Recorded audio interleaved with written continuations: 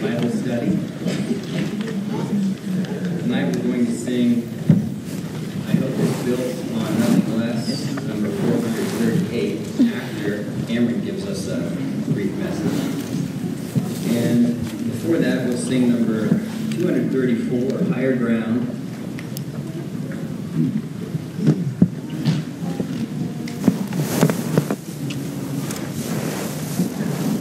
Pressing on the upward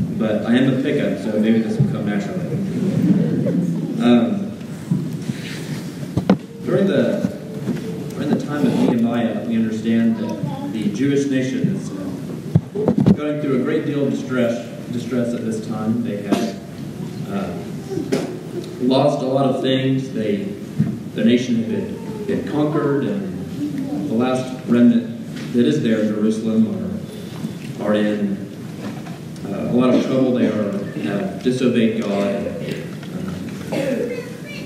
there is a lot of pride, I think, that has been lost, and there is a lot of, like I said, distress going on in the nation. And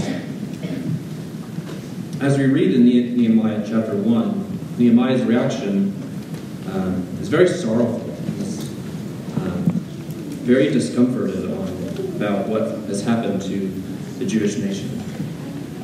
But it is in this distress that he prays to God. And in verse 4 of chapter 1 of Nehemiah, it said, As soon as I heard these words, I sat down and wept and mourned for days. But he continued fasting and praying before the God of heaven. And it's in this prayer, uh, he talks or describes a couple of things about God, and those are the things that I want to focus in on uh, just a few minutes tonight. In verse 4, he starts his prayer by saying, O Lord God of heaven, the great and awesome God, who keeps covenant and steadfast love with those who love him and keep his commandments. One of the things that he focuses in on is that God is great and awesome. That statement right there just points to the trust he has in God, his understanding that God controls, that has control over all. And that's one thing that we should consider for tonight. And in that same verse, he says that God keeps covenant and steadfast love with those who love him and keep his commandments. So God is faithful to us as long as we are faithful to him. And then later on in his prayer, he talks about the sins of the Jewish nation and how they turned their back against God. But if they just turn back to God and let let God rule their lives, then God will take them in. So that's the same thing. That's another thing that we should focus on tonight, is that are we faithful to God? Are we living a life that He wants us to live? And the last thing, it says in verse 6 and later on in verse 11. Verse 6 it says, Let your ear be attentive and your eyes open, to hear the prayer of your servant that I now pray before you day and night for the people of Israel, your servants. So the last thing is that God is listening. We pray to God because we know that He's listening. Um, that's kind of the nature of prayer. It's we're trying to talk to someone, someone because we know that they're listening. So that's the last thing that we have to understand is that we have to understand that God is listening. In verse 11, it says he says the same thing, basically. He says, O Lord, let your ear be attentive to the prayer of your servant and to the prayer of your servants who delight to fear your name, and give success to your servant today, and grant him mercy in the sight of this man. So Nehemiah is praying for the for hope and uh, a better situation that the Jewish people can be in. He's praying for for those people, and he's praying uh, for for a sense of restoration and hope. So we have to understand that God is listening for our, our needs and our desires, that He is listening. So, three things that we have to understand that God is, is powerful, He is great and awesome. The second thing is that He is faithful, as long as we are faithful to Him. And that last thing, He is listening. He's always listening to us. So, we have to understand the invitation is being offered that we have to understand these things. And if you are a Christian, or even if you are a Christian and, and have fallen away, or if you have not become a Christian, please understand these things because I, I'm very young, but I've always heard people say the older you get, you know, the more, uh, the more you have to understand these things because time is short. So if you have any needs or if you if you have anything on your mind, please please let us know. Uh, I speak from personal experience, uh, and few people here know that last couple of years have been kind of tough for me after um, after the loss of mom and everything. And, uh, so please let us. Uh, I didn't mean to bring the, bring that personal information, but just I guess I'm just speaking uh, from personal experience. Um, if you have anything on your mind, if, if you need to be listened to, or if you need to bring your life back, please come forward as we stand and sing. My hope is built on nothing less than Jesus' blood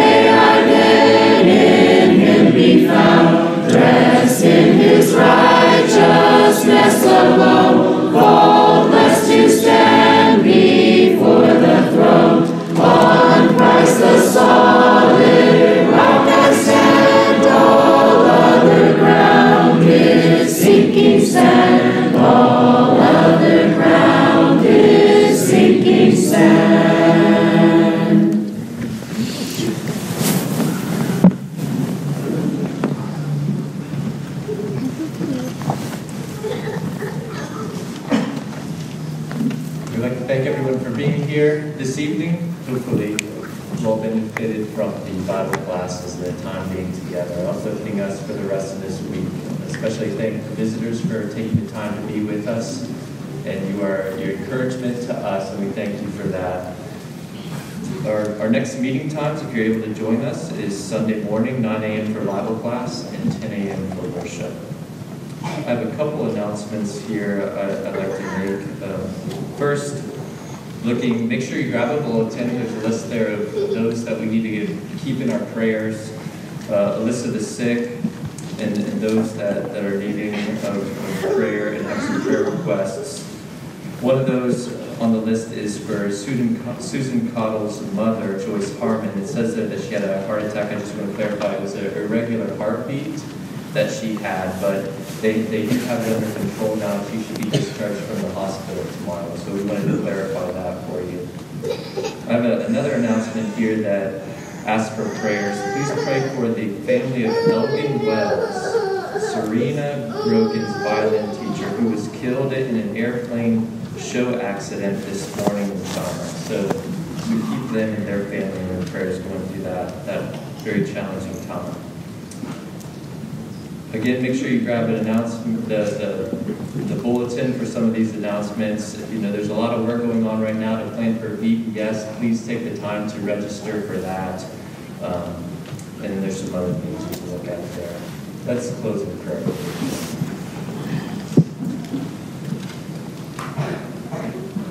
Father in heaven, we thank you for being an awesome and great God that, that we can come to.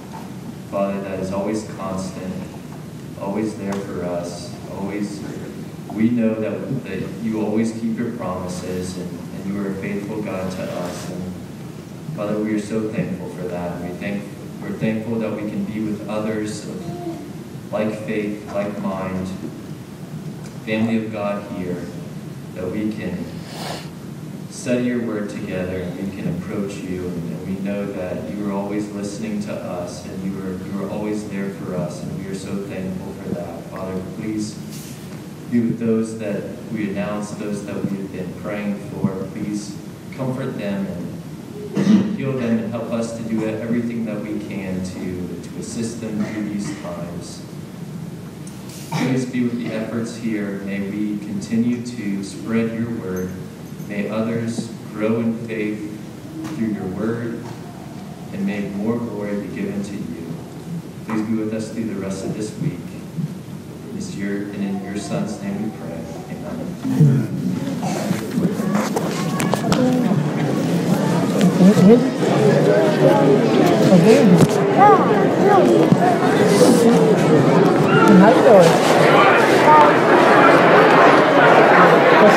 Amen. He wants to sit by you on Sunday. Is that okay? Okay. So you're living with me. Brandy who? What now? What? Randy Randy Morrison, Chester. Randy Morrison. So y'all look me up Sunday? Yes, sir. All right. Yeah, look for my Bibles. They're on the pew. Yeah, they're, they um I couldn't find them before. They weren't up front. I think they might have. Chest, I mean, Tom said they're somewhere uh, a couple rows back. Yeah. Can you bring them back here? Right in this row. Yeah. Okay. I'll grab them for you. Hold on. Thanks. You too, Brandy. Good to see you. I'll see you on Sunday. Okay. All right. Sounds good. Nice to meet you.